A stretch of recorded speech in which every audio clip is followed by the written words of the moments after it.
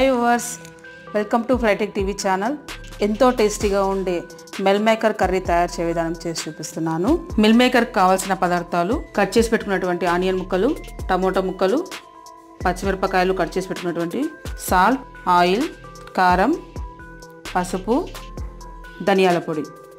మసాలా పదార్థాలు కొబ్బరి తురుము కొత్తిమీర అల్లం ముక్కలు తెల్లగడ్డలు చెక్క లవంగాలు.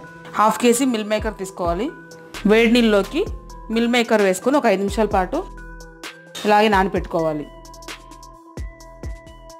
నానపెట్టుకున్నటువంటి మిల్ మేకర్ తీసుకొని చేత్తో ఇలా నీళ్ళన్నీ వడిచిపెట్టట్టు పిండుకోవాలి.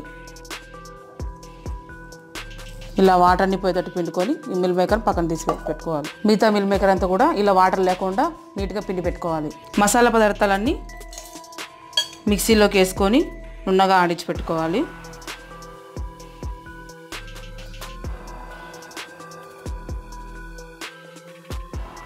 మిల్ మేకర్ తయారు చేసే విధానం ముందుగా స్టవ్ ఆన్ చేసుకొని బాలిగ పెట్టుకోవాలి.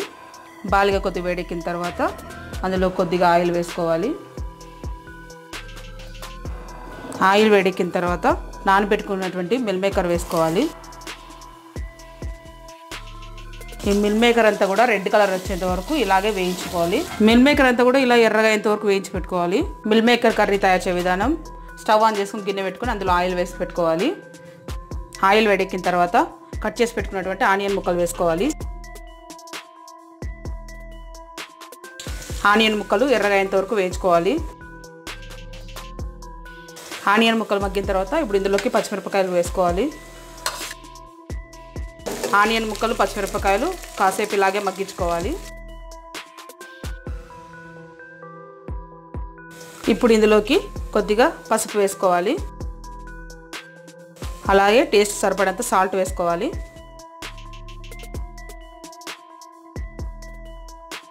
ఇప్పుడు దీని అంతా కూడా ఒకసారి కలుపుకోవాలి. ఇప్పుడు ఇందులోకి టమాటో ముక్కలు వేసుకోవాలి. టమాటా ముక్కలంతా కూడా మెత్తగా అయ్యేంత వరకు మగ్గించుకోవాలి. టమాటాలన్నీ కూడా మెత్తగా మగ్గిపోయాయి. ఇప్పుడు ఇందులోకి మిక్సీ కాడించుకున్నటువంటి మసాలా వేసుకోవాలి.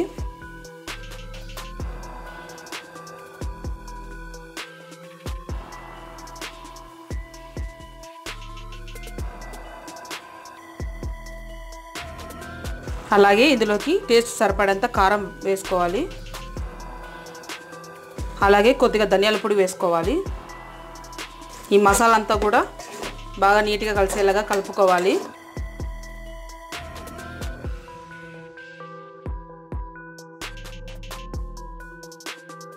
స్టవ్ సిమ్లో పెట్టుకొని మసాలా అంతా కూడా పచ్చివాసన పోయేంత వరకు ఐదు నిమిషాలు ఇలాగే మగ్గించుకోవాలి. ఇప్పుడు ఇందులోకి ఆయిల్లో వేయించి పెట్టుకున్నటువంటి మిల్ మేకర్ వేసుకోవాలి.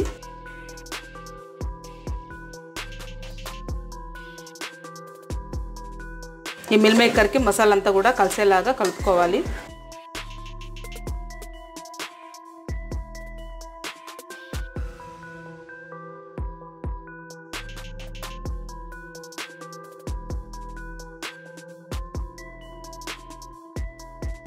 ఇప్పుడు ఇందులోకి తగినన్ని వాటర్ యాడ్ చేసుకోవాలి. ప్లేట్ పెట్టేసుకొని ఒక పది నిమిషాల పాటు ఇలాగే ఉడికిచ్చేసుకోవాలి. ఇప్పుడు ప్లేట్ తీసి చూద్దాం. మిల్ మేకర్ కర్రీ తయారైపోయింది.